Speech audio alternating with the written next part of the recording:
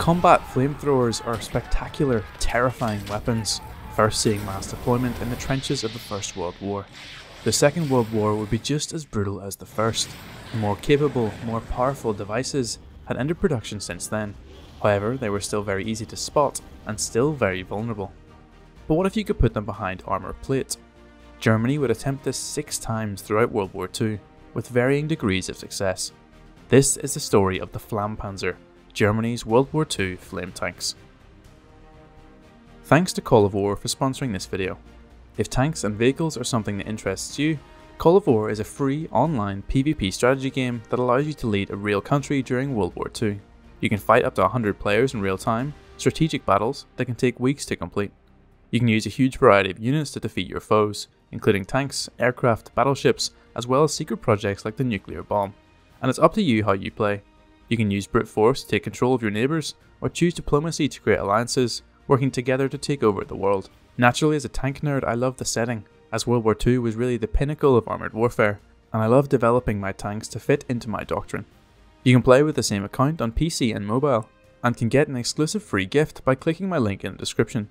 3500 gold, a week of premium time, and 3 tanks, absolutely free to deploy in any of your provinces to give you a competitive edge.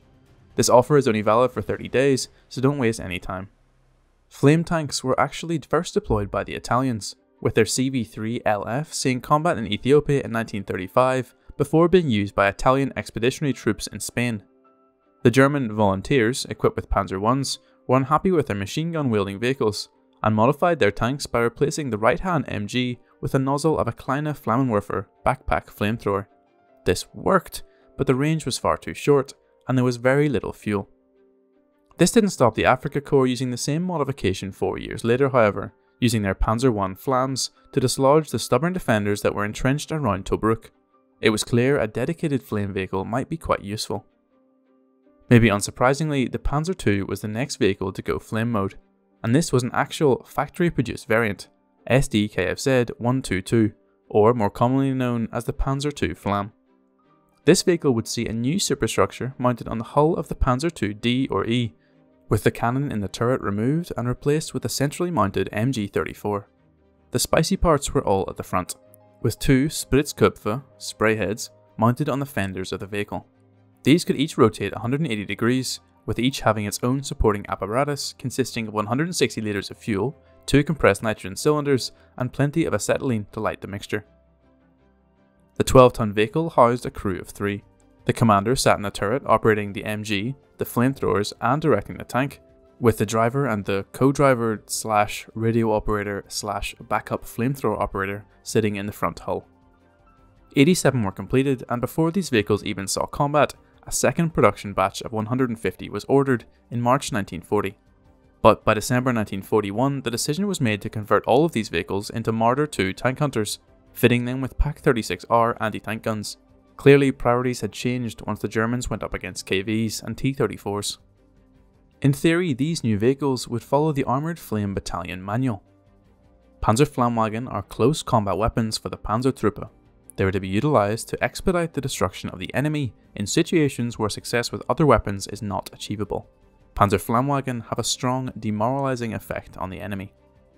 Support or not, the Panzer II Flamms only saw limited success.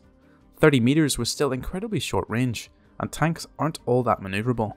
Operating this close, it was incredibly easy for the vehicles to be flanked or immobilised, especially with the Soviets possessing potent anti-tank guns and rifles. 14.5mm of side armour can only do so much. It was clear that a better armoured and longer range solution was needed, and the solution was, strangely, French. Step 1. Capture your enemy's silliest tanks. Step 2. Slap a Spritzkopf onto it. I am of course talking about the Panzer B2F, a captured and modified version of the French B1 bis heavy tank. These vehicles were originally designed with a low velocity 75mm howitzer mounted in the hull, but the B2F saw this replaced with one of the spray heads from the Panzer II Flamm. All 24 vehicles were issued to Panzer Abteilung 102, which arrived on the Eastern Front a day after Operation Barbarossa began. The B2 Flamm was a lot better armoured than the Panzer II version, but was armed with the same short-range flamethrower, so its flaming effectiveness was limited, especially for a relatively slow vehicle. As a result, the Germans decided to replace the nitrogen driven flamethrower system with a pump driven system designed by Koebe, which was capable of spraying fuel to 45 metres away. The new system's pump was driven by its own auxiliary motor mounted inside the B2, with a large armoured fuel tank welded onto the rear of the vehicle. The Char B1 had proved the new system could work, but the vehicle was outdated, slow, and only available in limited numbers. It was time for an upgrade, this time to the Panzer III. The new flame system would be even better in this dedicated flamethrower, with a more powerful engine propelling unlit fuel to around 50 metres and lit fuel to 60 metres away. I'm not really sure why these values are different for unlit and lit fuel, so if anyone knows the physics behind it, please do let me know in the comments. And while you're there, don't forget to subscribe for more content like this. The Panzer III Flamme, also known as SDKFZ 141-3, was an extremely straightforward modification. The main gun was removed and a new flame projector was fitted, with a large metal shroud around the barrel to allow the vehicle to blend in a bit better with actual Panzer IIIs.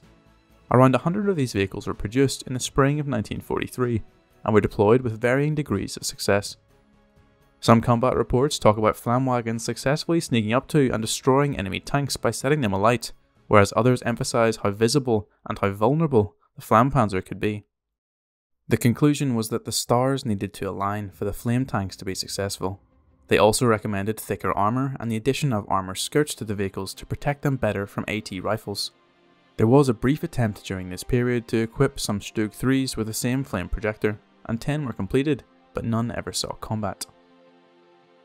The next successful flame vehicle wasn't a Panzer at all, but you may be familiar with it if you've ever played Company of Heroes 2, the Flamme Panzerwagen. This was a flamethrower variant of the SD KFZ 251 half-track, mounting twin flame projectors staggered on each side of the vehicle.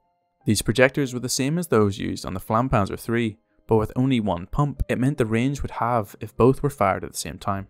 It was by far the most numerous Flam vehicle, with at least 293 produced by the end of 1944.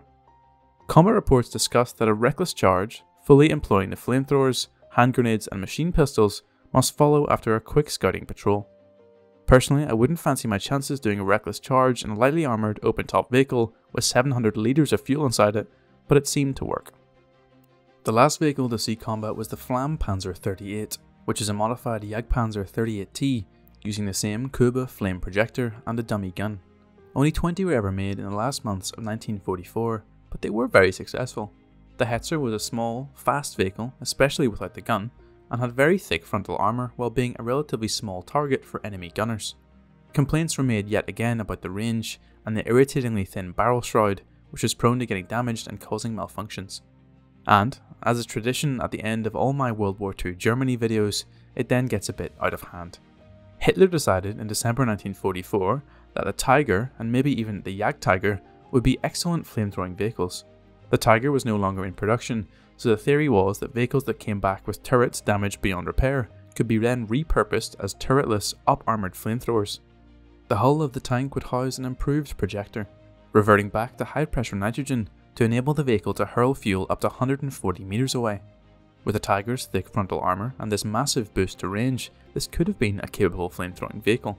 But given that it was spring 1945, that was just a pipe dream. One prototype may have been completed around April, but due to the end of the war, the Flamm Tiger project never saw the light of day. So, there you have it. Six and a half examples of how situational flamethrower tanks can be. And these weren't just German issues either. All nations sort of fell out of love with the weapon after the Second World War.